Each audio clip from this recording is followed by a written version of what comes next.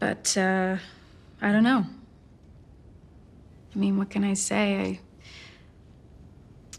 just really like big dicks. Yeah. It's not just length. Everybody's always talking length, but it's fine. I mean, girth, too. I really want to have trouble handcuffing the thing, like. I'm I'm not sure. Uh, you know that m- might be taken. What? Is that you wanted me to share. This is a safe circle, right? Oh, yes, it is. Hey, let her share, man. Yeah. Yeah,